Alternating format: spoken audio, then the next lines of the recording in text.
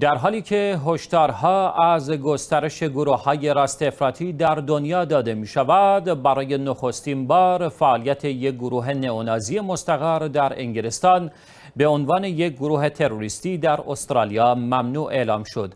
گروه لشکر سوننگتریج به فهرست 27 سازمان منع شده فعلی در استرالیا پیوسته که تاکنون منحصرا گروه های جهادی متشکل از سنی های تندرو یا تجزیه طلب مرتبط با خاورمیانه و آسیای میانه بودند.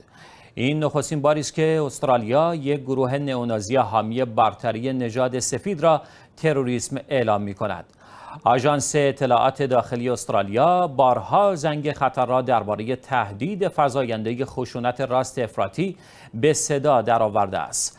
اما تا کنون دولت محافظه کار این کشور تمایلی به اعلام رسمی هیچ سازمان نجات پرستی به عنوان گروه تروریستی نداشته است. این اقدام به این معناست که عضویت در این گروه یا کمک مالی به این سازمان غیرقانونی خواهد بود. پیتر داتون وزیر کشور استرالیا گفت که این گروه اقداماتی به خصوص در انگلیس دارد که ما, که ما نگران آن هستیم. وی به خبرنگاران گفت دسترسی آنها به ذهن جوانان و استرالیایی ها در اینجا نگران کننده است.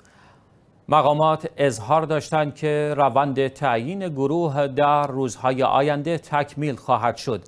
این در حالی است که کارشناسان افرادگرایی در دانشگاه جورج واشنگتن مستقر در ایالات متحده این گروه را شاخه کوچک از سازمانی بسیار بزرگتر توصیف کردند. این گروه در سال 2018 به دلیل اینکه شاهزاده هری را به خاطر ازدواج با یک همسر آفریقایی آمریکایی تهدید و به خیانت محکوم کرده بود مشهور شد و در ادامه این مسئله منجر به تحریم آن در انگلیس در فوریه 2020 گردید.